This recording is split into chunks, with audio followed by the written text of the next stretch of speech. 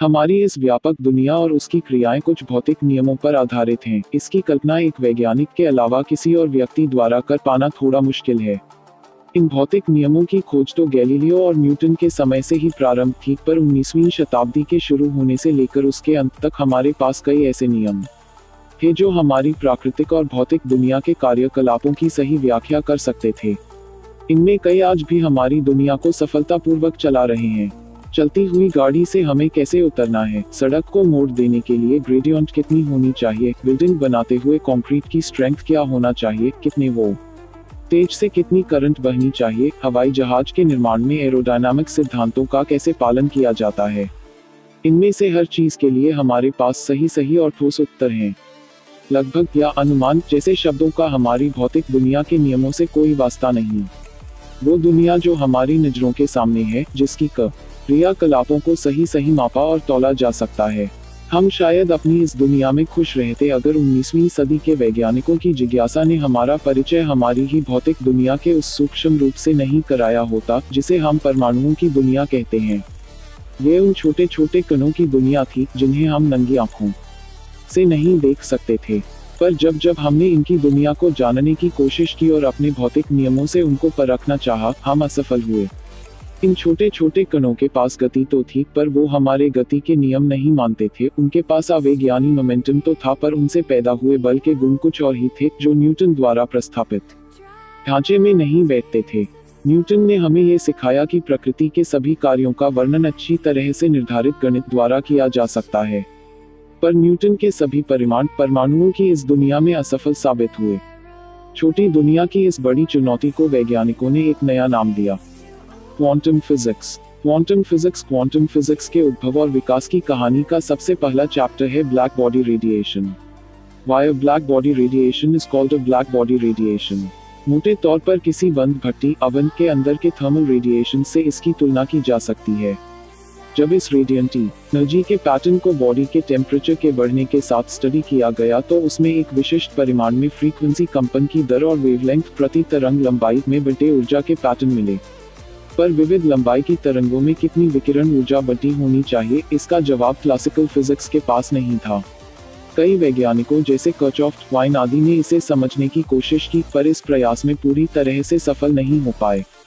आखिर वैज्ञानिक max Planck, Planck ने यह सुझाया कि ये थर्मल रेडिएशन कंटिन्यूस नहीं, बल्कि डिस्क्रीट पैकेट्स के रूप में निकलते हैं, जिसे उन्होंने क्वांटर कहा। उन्होंने ये बताया कि हर पाँच स्कट की अपनी फ्रीक्वेंसी होती है और वह जो ऊर्जा धारण करता है, उस फ्रीक्वेंसी को एक निश्चित संख्या से गुना करने पर पाया जा सकता है। और इस तरह ब्लैक बॉडी की विकिरण ऊर्जा के वेरिएबल पैटर्न को समझा जा सकता है, उनके इस निश्चित स्थिरांक को उन्हीं के नाम पर प्लैंक्स कांस्टेंट कहा गया। वैज्ञानिक मैक्स प्लांक प्लैंक का ये कांस्टेंट एच जिसका मान H six point six three X ten to thirty four joule second होता है, ने इस समस्या को सुलझा तो दिया पर ये प्रति पैकेट ऊर्जा का फॉर्मूला क्यों होता है, इसका जवाब प्लैंक के पास नहीं था।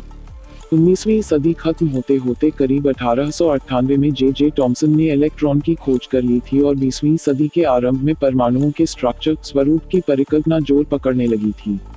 परमाणु के नाभिक के चारों तरफ़ इलेक्ट्रॉन कैसे घूमते हैं, इस पर विचार होने लगे और इसके लिए नए नए मॉडल सुझाए जाने लगे। वैज्ञानिकों को आकर्षित किया इस प्लानिटरी मॉडल ने, पर इस मॉडल की परिकल्पना क्लासिकल फिजिक्स के अनुसार गलत थी, पर इस कॉन्ट्रोडिक्शन का कारण बना मैक्सवेल का इलेक्ट्रोमैग्नेटिक सिद्धांत। इस सिद्धांत के अनुसार एक्सेलरेटेड मोशन में किसी भी घूमते विद्युत भारित कण यानी मूविंग चार्ज पार्टिकल की ऊर्जा विद्युत चुंबकीय तरंगों के रूप में निकलती है। जिसका मतलब था कि ऑर्बिट में घूमता हुआ इलेक्ट्रॉन जो कि एक नेगेटिवली चार्ज पार्टिकल है, अपनी ऊर्जा को विद्युत चुंबकीय तरंगों के रूप में खोता रहेगा और अंततः स्पाइरल करता हुआ नाभिक में जा गिरेगा। यह बहुत ही कम समय में होगा। इसलिए इस धारणा को सच मानने का मतलब था एटम को अनस्टेबल मानना, जो कि संभव नहीं था। इस समस्या का समाधान निकाला डेनमार्क के वैज्ञानिक न्यूज़ बॉने। वो हाइड्रोजन गैस से प्राप्त रेडिएशन स्पेक्ट्रम की लाइनों का अध्ययन कर रहे थे। उन्होंने ये व्याख्या दी कि इलेक्ट्रॉन जब अपने ऑर्बिट में घूमता है तो कोई ऊर्जा विकिरित नहीं करता, बल्कि वह ऊर्जा उस समय बाहर छोड़ता है जब वो एक अधिक ऊर्जा वाले ऑर्बिट से दूसरे कम ऊर्जा के ऑर्बिट में जंप करता है। वह इस ऊर्जा को फोटोन नामक एक मैसलेस पार्टिकल यानी प्रकाशकण के रूप में वह बाहर निकालता है।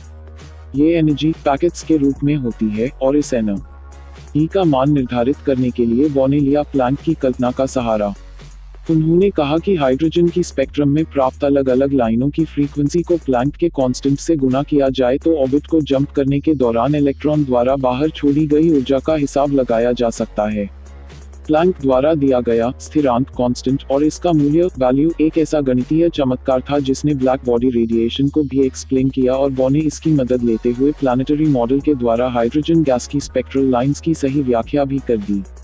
पर इन दोनों उदाहरणों में प्लैंक और बॉ ने एच। आओ कैसे तो एक्सप्लेन कर दिया पर वाई क्यून का जवाब उनके पास भी नहीं था। सवाल था कि आखिर क्यून पार्टिकल होते हुए भी इलेक्ट्रॉन, इलेक्ट्रोमैग्नेटिक थियोरी पर खरा नहीं उतर रहा था। क्योंकि हर चार्ज पार्टिकल जो मूव कर रहा है उसे मैक्सवेल की इलेक्ट्रोमैग्नेटिक थियोरी का पालन करना चाहिए। जो कि एक सत्यापित भौतिक नियम है।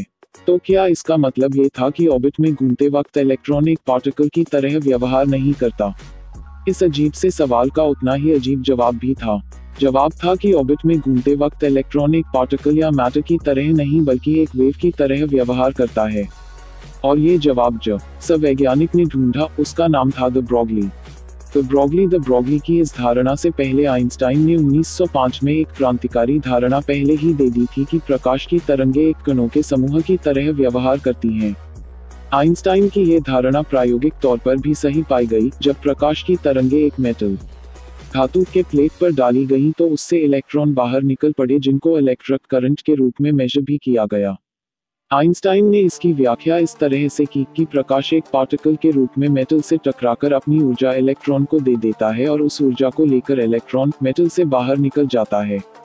आ इंस्टाइन का ये सिद्धांत फ़ोटो इलेक्ट्रिक इफ़ेक्ट के नाम से मशहूर हुआ, जिसके लिए उन्हें नोबेल प्राइज से भी नवाजा गया। फ़ोटो इलेक्ट्रिक इफ़ेक्ट के कई उदाहरण हम आम ज़िंदगी में हर रोज देख सकते हैं, खासकर फ़ोटो सेंसर्स से जुड़े किसी भी एप्लीकेशन में इसका अनुभव किया जा सकता है। आइंस्टाइन की इस अवधारणा के बाद ली। जीएचटी वेव के फोटोन के रूप में यानी मैटर की तरह व्यवहार करने में कोई संदेह नहीं रहा। उधर द ब्रॉगली ने अपनी परिकल्पना को एक गणितीय रूप दिया था जिसमें उन्होंने कहा कि इलेक्ट्रॉन जब एक वेव की तरह व्यवहार करेगा तो उसका वेवलेंथ प्लैंक के कांस्टेंट को उसके मोमेंटम से डिवाइड करने पर प्राप्त होगा।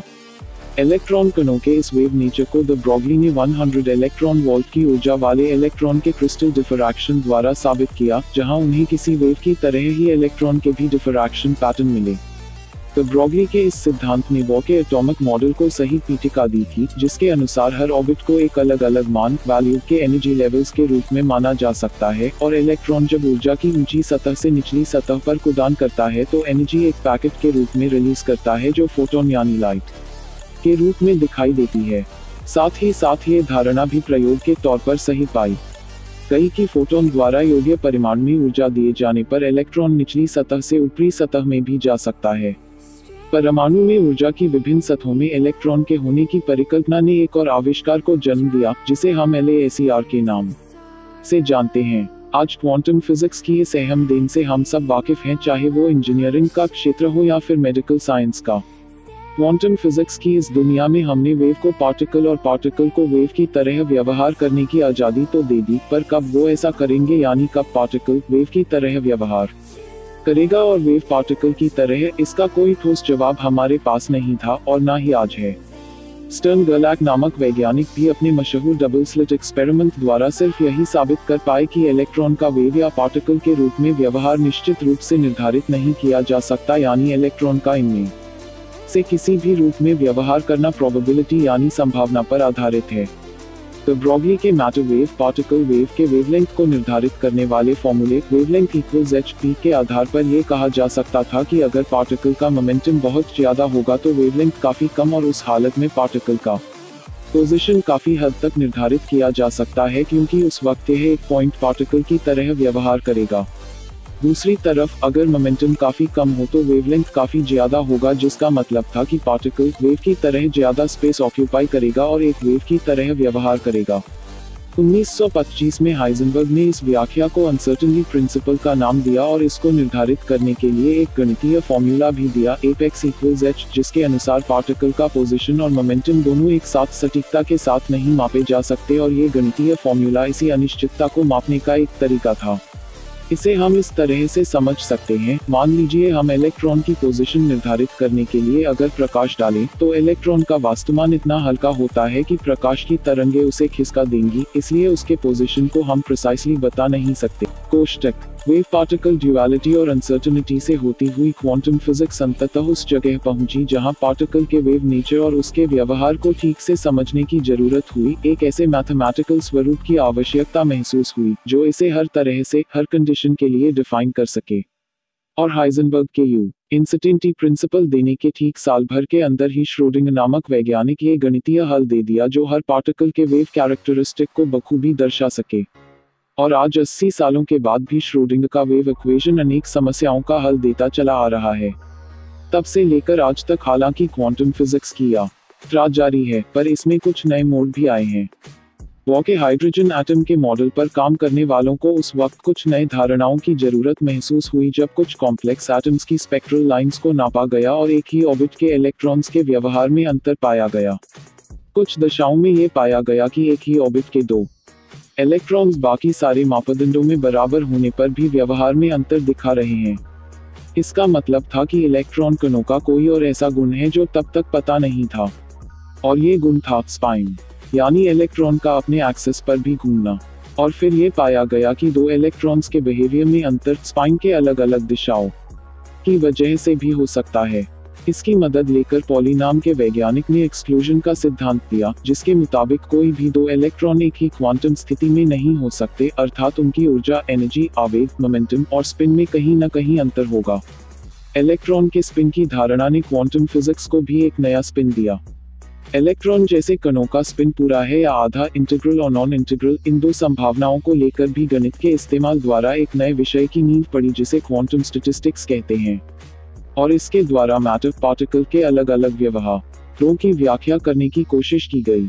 पर छोटे छोटे पार्टिकल्स की दुनिया की व्याख्या करने वाली क्वांटम फिजिक्स के गणितीय फॉर्मूलों और धारणाओं का इस्तेमाल कभी कभी एक बड़े वस्तुमान मास के व्यवहार को समझने में भी किया जा सकता है। इसका सबूत दिया भारत में, जिनमें वैज्ञानिक सुब्रमण्यम चंद्रशेखर आर ने जिसके लिए उन्हें नोबेल प्राइज भी मिला।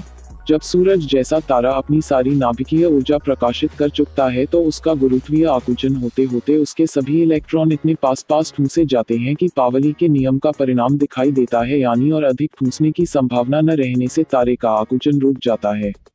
ऐसी स्थिर अवस्था में आए तारे को व्हाइट ड्वॉर्फ कहते हैं। पर पावली का नियम लागू होने के लिए यह ज़रूरी है कि तारे का वस्तुमान एक निश्चित सीमा से अधिक न हो।